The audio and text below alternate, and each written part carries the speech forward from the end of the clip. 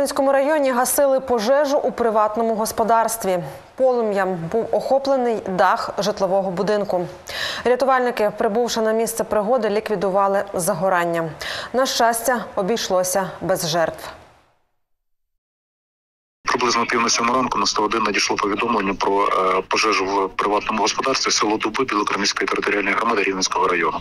Е, на місце пригоди було направлено кілька одиниць пожежно-рятувальної техніки. Що саме стало причиною, наразі встановлюється.